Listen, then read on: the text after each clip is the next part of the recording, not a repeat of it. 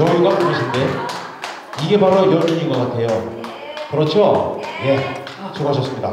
자, 이번에는 가지 말라 잡아야 하는 욕심쟁이 행복 바이러스를 주는 가수 노옥님을 모시겠습니다.